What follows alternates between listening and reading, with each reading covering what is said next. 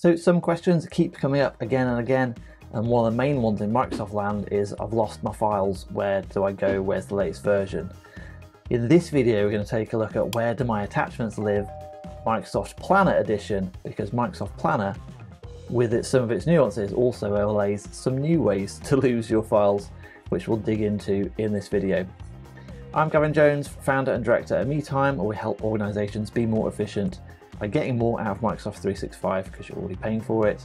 If you would like to know what we can do for you, for your organization, then book a call using the link in the description below. So this was from a message from a viewer with a video suggestion about how can he find his files in Planner. So love someone to show how file attachments in Planner, Teams chats and other places are saved under the hood in their SharePoints. So we'll dive into Planner have a look at Teams attachments as well and chats. We've covered a bit of those before, but Planner is new. If you don't want to watch this video, I get it. If you just want to know what to do, just do this. If you get your Teams structure right first, it makes everything else easier or irrelevant. If you're using a planner, set it up in a team, which we'll have a look at. If you don't have to do that, we'll have a look at that in this video later on. So stick around if you're interested in that. Also, if you've got any other video ideas that you want me to cover, let me know in the comments below. And if you are struggling with finding files across Microsoft ecosystem, also comment below and let me know if you're in the same boat. Like I say, too long didn't watch is just set a planner up in your existing team. So how to do that is come into Teams, come into the team that you want the planner to live in. So for example, my content plan lives in this MeeTime Limited team. Click, if you don't have that, click Add a tab, click Planner. Once you're in the team you want the plan to live in, and then you can create a new plan, call it something meaningful, because now when you go into the new planner, if you just leave it as tasks, you might have lots of other things just called tasks, so make it meaningful to what is going to be housed in that plan.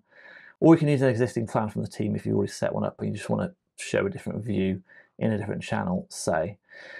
If you create a planner that way, at least that's one step of not not having to lose your files. Second step is put all of your files in the team. So don't have a separate SharePoint site, put all files in the files tab of the relevant channel. And again, if you need help structuring your team, that is the most important thing. Book a call using the link in the description below if you've got an organizational wide issue that you want help solving. That's usually the biggest thing that we can do to make uh, make people more efficient and save people time and get them working more modern out in the open with a digital equivalent of an open plan office. If you want to know more about that, we do have a free workshop, training, whatever you want to call it. That's linked in the description below as well. It walks you through the sort of thinking to get your organization working more out in the open and structuring your teams. So that might be useful if you've not watched that already. But if you put your planner in the team, then it, saves one way of losing stuff, but you can still lose things.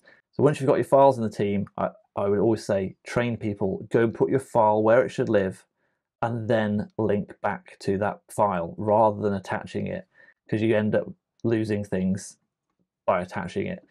So if we come into Planner, this is a Planner edition of losing your files or where do my where do my file attachments live? If you come into attachments, you've got three options from your computer, which I would, not recommend doing because it's not going to go in the place that it's supposed to go.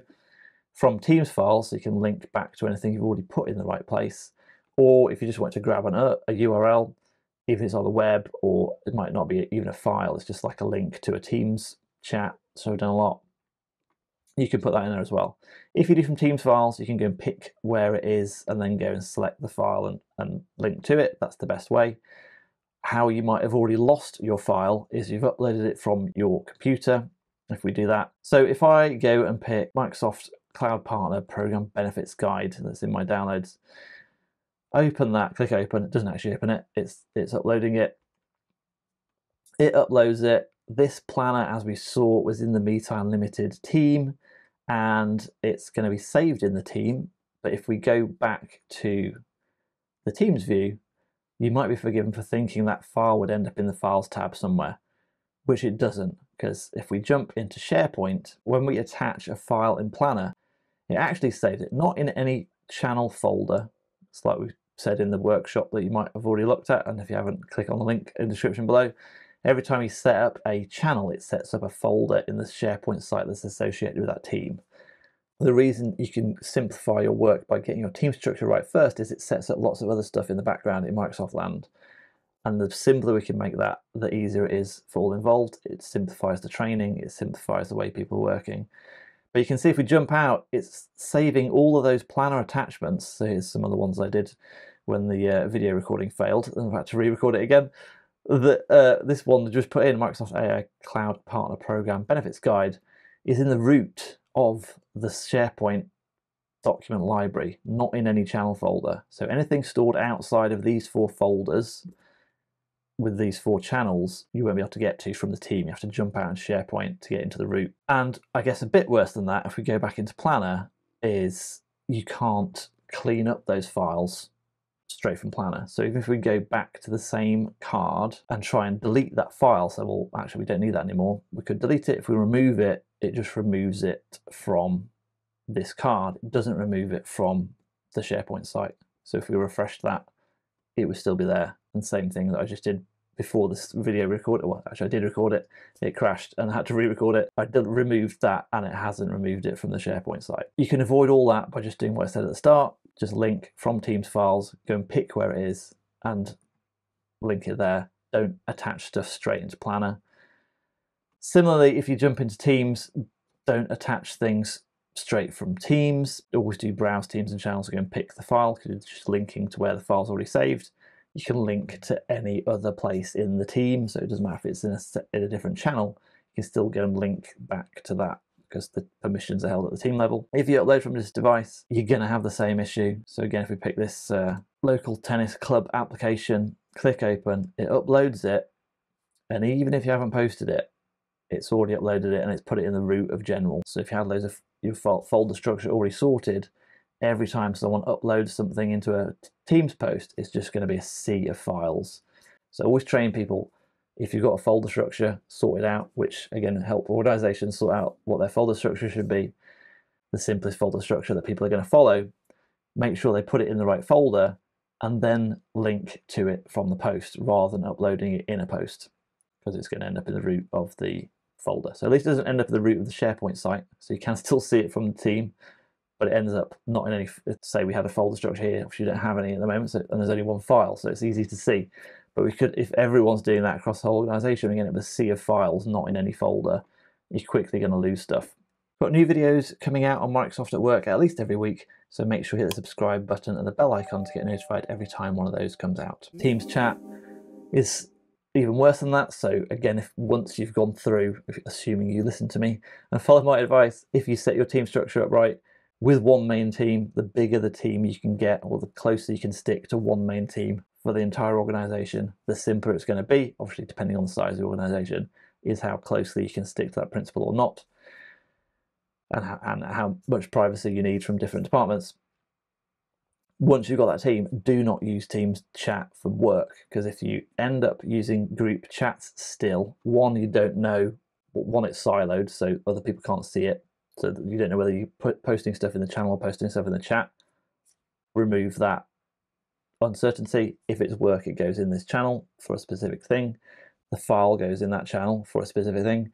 If you're still using group chats, one, it's siloed. Two, you're getting notified every time someone puts something in there because it's either on or off, unlike threaded conversations in Teams channels. And most relevant to this video, you're going to lose the file because when you upload a file into a Teams chat, it goes into the OneDrive of the person that shared it, not in SharePoint, not in Teams. They're not linked. They might might create a separate version in that person's OneDrive. And if they leave, you need a process of retaining those files somewhere. And you won't know if you're central and not to do with what they're working on, which is the latest file. Is it the one that's in the person's OneDrive or have they put it in the team, have they put it in SharePoint site? When I go into an organization, they've probably got at least three, four different versions of files all over the place, which is what we can help solve and remove confusion and improve efficiency for knowledge workers. So again, if you're interested in working together, click the book a call link in the description below. So back to Planner, because it's Planner Edition, losing your files. Planner makes it one step worse. So if you put your plan into a team, you can still lose stuff because it goes into the root unless you link it. You can still lose stuff because you can set a planner up that's not in a team. So if we've got a private plan uh, now with a new planner, that doesn't actually let you attach a file by uploading it because it's not back, actually backed in the background by a Microsoft group and therefore a Microsoft SharePoint site.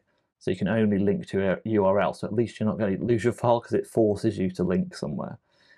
You can make that plan a group without adding it to a team. So you can add it to an existing group, and most of those are going to be teams if you follow my advice, but there's other ways to set Microsoft groups as well that don't have a team. And one of those ways is by just creating a, a group from Planner. So before the new Planner came out with private plans, you could only have like public plans, which create, if you want to create a plan, it creates a group. Which is why I say if you've got a team that is already creating a Microsoft group, you can add the plan to that team and therefore add a plan to that group. If you set up a brand new group, it's got a separate SharePoint site, you're going to end up losing your files if you attach them in. So if we did, I don't know, I think of because I already recorded this video once and it crashed, need to pick a new name, test, share, planner, create group. So we've got a plan called Private Plan Test in Test Share Planner. It's going to create a brand new Microsoft group, a brand new SharePoint site, brand new document library to house all those files. So now that private plan isn't private anymore. So obviously we haven't changed the name. If we go and attach something and we've got no other view into that group, so we're going to have to upload it from our computer, we go and pick, say, the same file it uploads it we can open it from there and see it's gone into private plan test. If we didn't jump out into that file onto the web, if we go into SharePoint, we can't ever see that SharePoint site that's associated with that group because unhelpfully, even if you go into the SharePoint view, you can't see every site that you're, you've got access to you can only see frequent sites and then make more frequent sites. So unless you've like done something in that site, it doesn't pop up in your frequent site. So even though we've uploaded a file, that isn't enough to go and show us that site in frequent sites. So you can search for it, but it's unlikely to come back in my experience.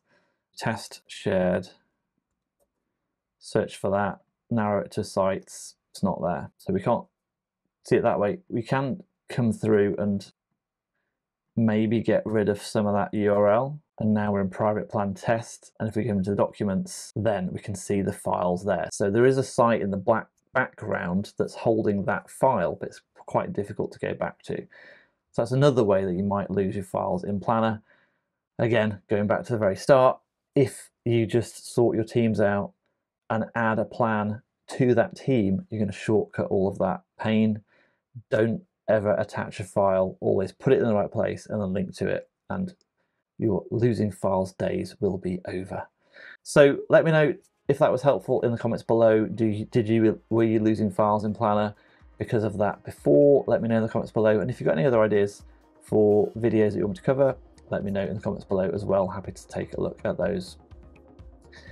If you like this video, before you go, remember to click the thumbs up button. It really helps us in the algorithm. Click the subscribe button and the bell icon. If you haven't already, to get notified every time new videos come out, we've got new videos on Microsoft at Work coming out at least every week. If you want even more help via YouTube, because it's easy to get to, you can consider joining the channel for a small monthly fee, help support the channel to keep these videos coming out for free. And depending on your tier, depends on what other support you might need. So you can get early access to questions in the comments if you're a lower tier subscriber. If you're a middle tier, you get access to all the new videos coming out before everyone else, if that's useful.